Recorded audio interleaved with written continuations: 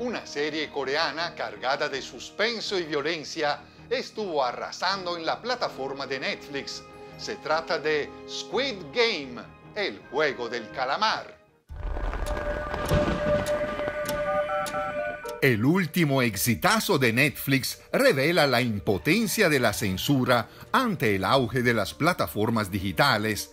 Es un pasatiempo juvenil no apto para su público meta por su nivel extremo de violencia.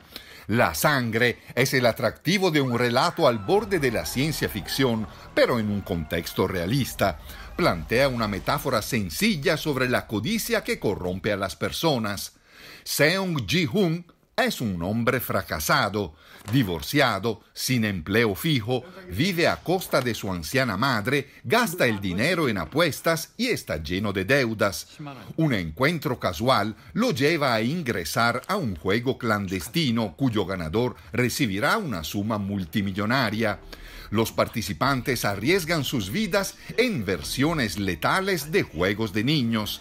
Seong es el último jugador en ser admitido, el número 456, en una lista de concursantes que son eliminados uno por uno.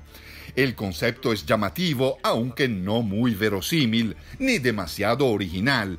Tiene claros antecedentes en la saga de los Juegos del Hambre y Battle Royale antes que ella, vagas reminiscencias de la clásica teleserie El prisionero, algo de El juego de David Fincher y hasta Soul, juego macabro en la crueldad de las ejecuciones. La narración es prolija.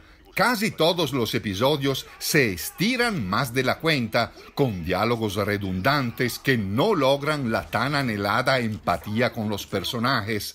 La tendencia de sobreactuar, a veces con resultados estridentes, enfatiza esta debilidad.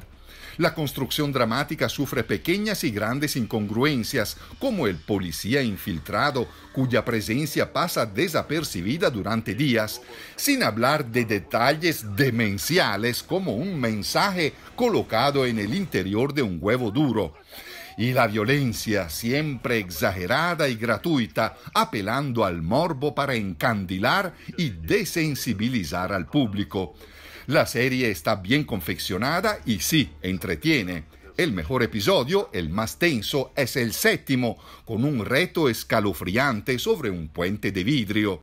El cierre se diluye con un largo epílogo que sirve solo para dejar montada la segunda temporada. La moraleja, que el dinero no es lo más importante en la vida, se pierde en medio de la truculencia y el efectismo. Cinco mi calificación para El juego del calamar.